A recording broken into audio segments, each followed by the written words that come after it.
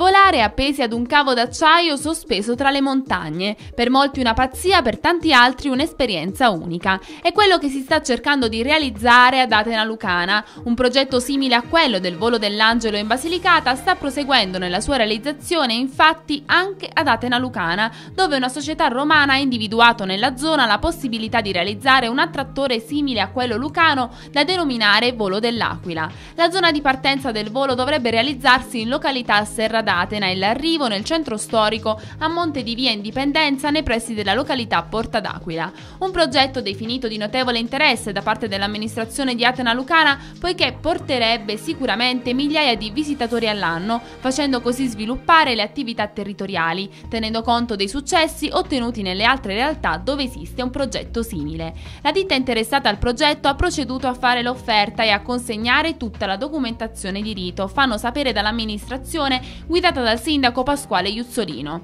Ora dopo il progetto definitivo attendiamo la consegna dell'esecutivo e del business plan. Il progetto dunque va avanti, infatti durante il Consiglio Comunale dello scorso 27 aprile tra i punti all'ordine del giorno c'era proprio la procedura di utilizzo del suolo pubblico, procedura contestata dal gruppo di opposizione Libera formato dai consiglieri di minoranza Francesco Manzolillo e Luigi Vertucci che durante la seduta del Consiglio ha espresso i suoi dubbi in merito alla vicenda.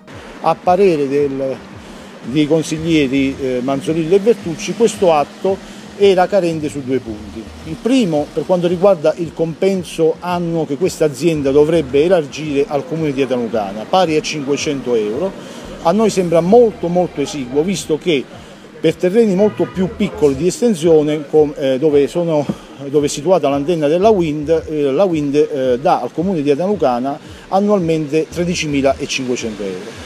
E il secondo punto molto importante eh, per noi è che questo eh, deliberato non eh, è conforme a quanto stabilito dalla delibera eh, di giunta eh, regionale 368 del 23 marzo 2010. Questo che cosa significa?